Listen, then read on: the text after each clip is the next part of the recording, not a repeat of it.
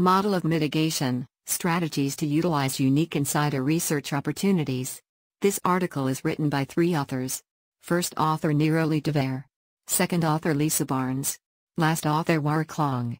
Insider research has in the past challenged researchers in terms of blurred lines, objectivity, bias confidentiality and maintaining professional working relationships.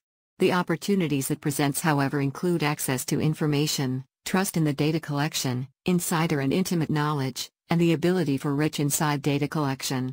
This paper discusses these opportunities and challenges, then makes recommendations for 10 strategies to assist in data collection by an insider researcher.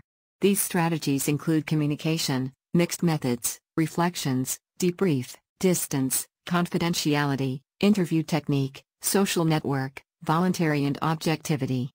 The research concludes with the creation of a model of mitigation, which posits the 10 mitigation strategies along with the four opportunities to assist insider researchers to overcome obstacles when conducting insider research, as insider research has been shown to collect rich data and enable organizations to reflect on the research findings and to implement recommendations made on an individual but organization-wide basis.